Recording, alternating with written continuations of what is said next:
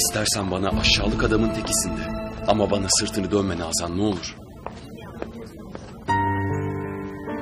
Bana çok büyük bir utanç yaşattın bana. Çok büyük.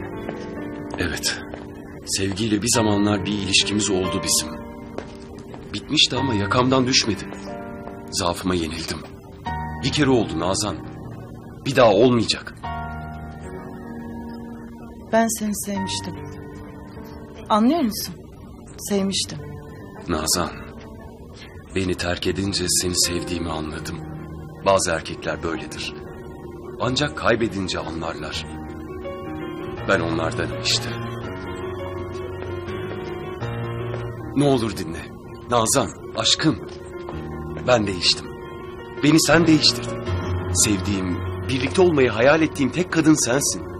Sensiz duramıyorum. Benim iliklerimi işledin sen Nazan. Ruhumu teslim aldın.